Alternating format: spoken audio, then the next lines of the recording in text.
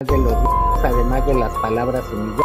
Se dice que Nodal llegó a golpear a Belinda. Es un momento difícil y nada más quiero agradecerles el apoyo y... Han sido muchos y muchos los rumores justamente en torno a la separación de Belinda y Cristian Nodal. Desde que el pasado 12 de febrero anunciaron su separación definitiva, mucho se ha hablado de lo que pudo haber ocurrido entre ellos para que finalmente se diera su ruptura.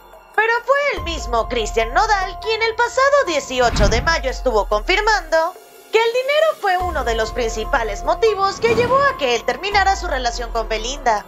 Esto luego de publicar una conversación que justamente sostuvo con la que era su prometida en ese momento misma que parecería ser la última conversación que justamente ellos tuvieron como novios y prometidos. Y es que recientemente se ha comentado que tanto Belinda como Cristian Nodal mantenían una relación que si bien estaba llena de amor, también tenía muy presente la acrimonía. Se dice que Nodal llegó a golpear a Belinda.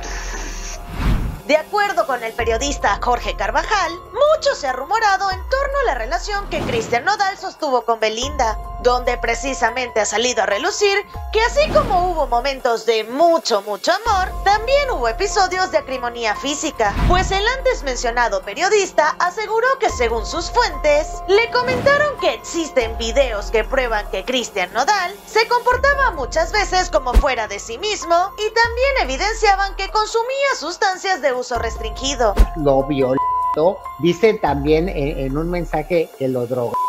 Por otra parte, Carvajal aseguró que hasta Nodal dicen se fue de manos con Belinda y que durante todo el tiempo que ellos fueron novios existieron palabras bastante degradantes y muchas actitudes negativas por parte del cantante sonorense.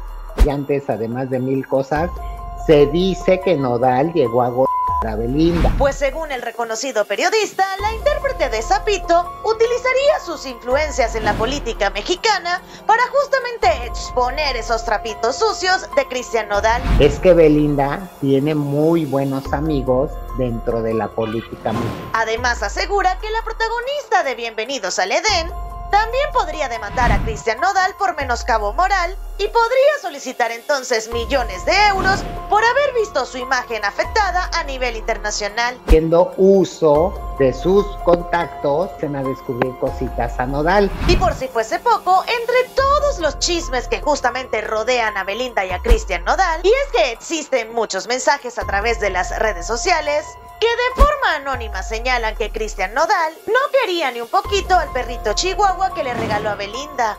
Y por tal motivo, el perrito se había vuelto el blanco perfecto para que Cristian se ensañara en su contra y de alguna forma también siguiera afectando a Belinda. Definitivamente este nuevo rumor que rodea la ruptura de Belinda y Nodal es el más fuerte que ha salido a relucir hasta el momento. No sé si ustedes consideran que el cantante sonorense sería capaz de hacer esto, pero aseguran que existe evidencia en videos que demuestran que todo lo que se está mencionando es real.